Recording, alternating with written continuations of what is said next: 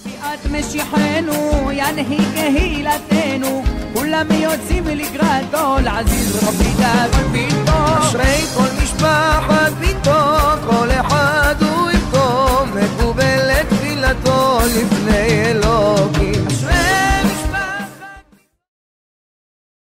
Shalom Abracha, avec les d'Hachem, j'espère que vous allez bien. La- Cette histoire que je vais vous raconter aujourd'hui, c'est une qui m'a raconté Rabbi Shlomo Sebag de Montréal. Il me raconte hier soir quelque chose d'extraordinaire, extraordinaire. Il me raconte que lorsqu'il est parti à la Hilula de Rabbi Pinto, à Essaouira, cette année, sa femme elle avait beaucoup mal au ventre. Et tellement qu'elle avait mal au ventre, le samedi soir, jusqu'à qu'elle est partie devant la photo de Rabbi Haim Pinto, elle a commencé à, prier. Et dit Rabbi Haim Pinto, c'est à Iloula ce soir. J'ai mal. Et vous savez que lorsqu'on a mal, on a mal. Pour qu'elle prie comme ça, avec le zéro de Rabbi Haim Pinto, pour le mal de ventre qu'elle avait, c'était pas facile. Et puis voilà, mes amis, elle dit, Rabbi Haim Pinto, donne-moi un signe que tu as écouté ma prière. C'est la Mouna, hein Donne-moi un signe. À peine qu'elle se retourne, et voilà le cadre de Rabbi Haim Pinto qui était à la cuisine. Il tombe sur la coupa, après il tombe par terre, la coupa n'a pas bougé de sa place.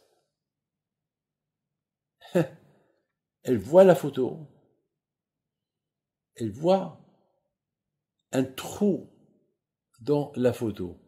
Et le trou dans la photo, c'était le côté, je ne peux pas vous dire, là où il avait mal, gauche, vous savez, la photo de Pito, elle est grande, c'est la fameuse photo où on le voit assis avec sa canne. Donc, euh, il y avait un trou dans exactement l'endroit gauche ou droite, là où il avait mal, était troué. Et le mal de ventre est parti. Il a demandé un signe, Rabbi Pito lui a donné le signe. Mes amis, on dit que les tzadikim ne sont pas morts les tzadikim, ils sont vivants. Ça n'existe pas. Ça n'existe pas. Ce qu'il a, les mouna, dans les tzadikim, lorsqu'ils ne prient pas le mérite. Vous savez, lorsqu'on prie, on ne prie pas aux tzadikim, on prie par leur mérite. C'est tout. Je voudrais vous dire une chose. Il y a une question qui se pose. Comment est-ce possible que Esav, Esav, Esav, c'était le frère de Yaakov. Et Yaakov Abino, lorsque leur, ils, sont ju, ils sont jumeaux, Esav et Ya- Yaakov sont jumeaux, la question se pose, comment est-ce possible que de Esav, ils sont sortis des tzadikim? Vous savez que Esav, la Torah était, Hachem il a la Torah à Yaakov. Esav, il n'a pas voulu accepter la Torah. Mais quand même, de ses descendants, ils sont sortis des tzadikim. Ils sont même sortis des prophètes. Comme on va dire le prophète, comme Ankelos, celui qui a traduit toute la Torah. Il y a beaucoup de Tannaïm, comme Rabbi Akiva. Rabbi Akiva, son arrière-grand-père, c'était un, un, c'était de Esav. Et Rabbi Meir aussi. Ses, ses grands-parents, c'était de la famille de Esav. Il s'est déconverti. Il y a beaucoup de tzadikim qui sont sortis de Esav. Comment est-ce possible? Comment est-ce possible? Vous savez que lorsque Sarah, lorsque Rivka était enceinte, elle est partie chez, chez le prophète, Shem, et lui a dit, euh, j'ai des, contra des contractions, tu peux m'aider Il lui dit, ben oui, tu as deux jumeaux, un il va être Rachar, un il va être Sadiq.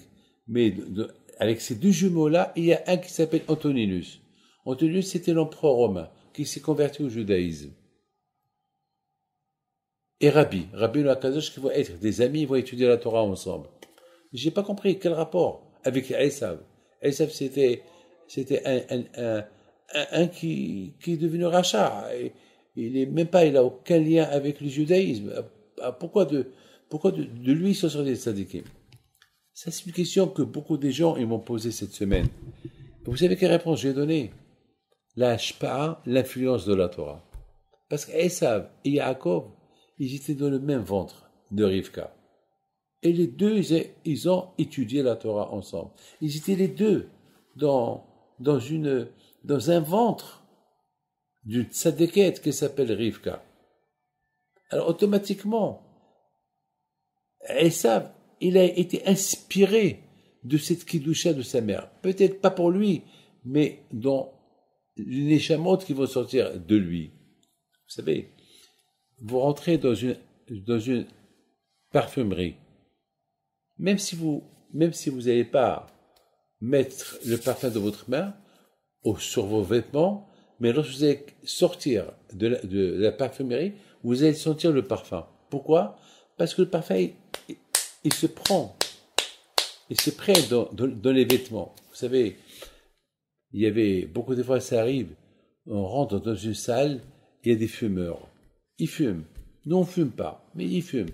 Lorsqu'on va sortir dehors, on va sentir, on va sentir la cigarette. Il y a beaucoup de gens qui me, qui les mains, qui m'embrassent les mains, et après je sens mes mains, je sens la cigarette dans mes mains, alors que j'ai pas touché aux cigarettes. Beaucoup de fois, c'est comme ça, parce que, et c'est ça, mes amis, lorsqu'on rentre dans la, dans un endroit où il y a la Torah, on est obligé d'être inspiré de la Torah.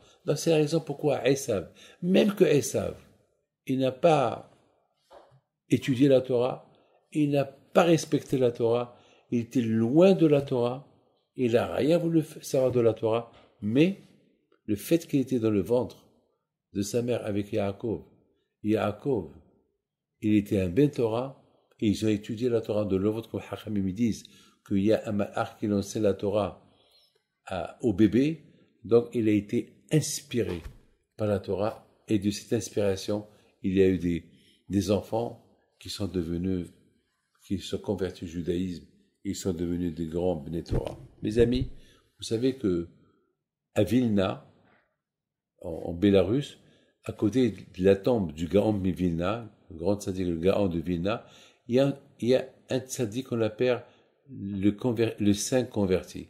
Et le Gaon, il a dit, lorsque je meurs, enterrez-moi à côté de, ce- converti-là qui, est un saint. Ce converti-là, il était de la descendance de Esav. Ça veut dire, mes amis, que lorsque on est inspiré, lorsque on, écoute un cours de Torah 100%, il va, se passer un événement. De cette Torah-là, elle va influencer un jour, si c'est pas nous, un de nos enfants. Mes amis, que le bon Dieu vous protège et vous donne la santé, la et que le bon Dieu vous protège. Amen.